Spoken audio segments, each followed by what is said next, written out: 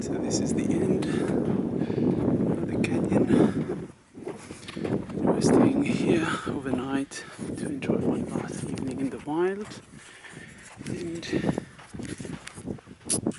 here is my hiking buddy. It's a dragonfly. It's been hanging on my backpack for the past, I don't know, five minutes maybe.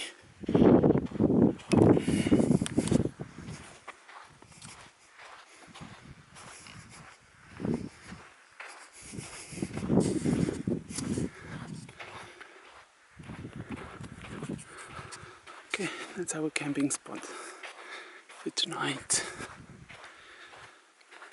We're trying to find a way across the water and find shade for this afternoon. It's nap time.